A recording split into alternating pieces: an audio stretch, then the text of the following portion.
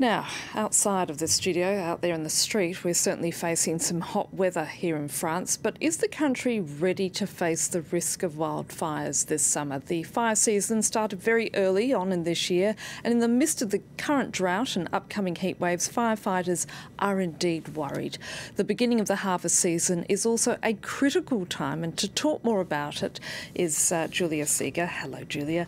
Um, high temperatures and drought episodes contribute to increasing the risk of wildfires. So, what is the current situation here in France?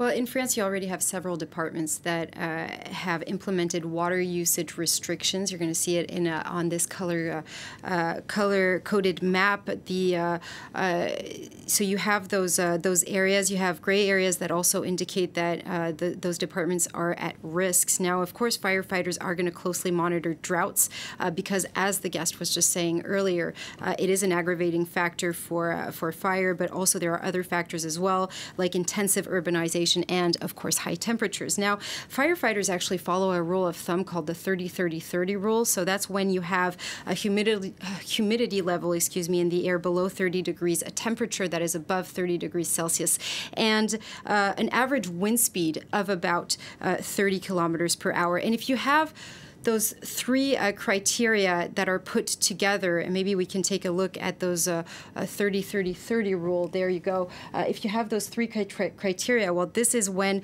it's considered to be extreme fire behavior potential. Now, firefighters pay very close attention to this rule, especially during harvest season, because they fear what we call harvest fires, and those are fires that are sparked by uh, friction that uh, that is is provoked by the harvest blades uh, on on certain stones, and this has devastated fields in France. Let's say even last year, 2022, but also 2019. And 2019 was really a breaking point uh, where hundreds of hectares went up in smoke, and it was a wake up call. And this is why in many regions now in France they've actually created a new dynamic between farmers and firefighters. And of course, the worst case scenario is when you have uh, these fires, these crop fires, but also uh, forest fires at the same time.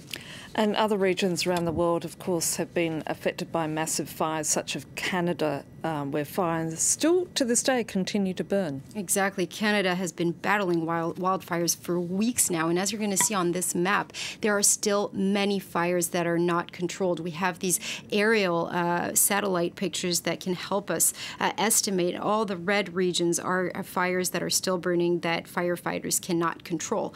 Uh, now, experts say that fires are indeed becoming less predictable. It's making it more increasingly challenging to understand the behavior of uh, fires fires. There's also no longer a specific season. You also have fires during winter, uh, which we had never seen, and this is actually due to climate change. But uh, and this can seem counterintuitive because we've never had so much technology to help us quell uh, this this problem. But at the same time, it's important to say that it's still prevention, education, and uh, awareness that remains essential because nine fires out of ten are actually by human activity. And technology, of course, equally playing a very important part in fighting those fires. Especially, exactly. Well, first of all, you're going to have robotics, but here the problem is going to be to be able to find those material that can withstand high temperatures, of course, and here you have the example of Colossus, which is the robot that was used to fight uh, the uh, fire of Notre Dame. Uh, you also have, of course, you have to uh, be able to act on the ground really swiftly, but at the same time have an aerial perspective of what's happening to know how fast the fire is spreading.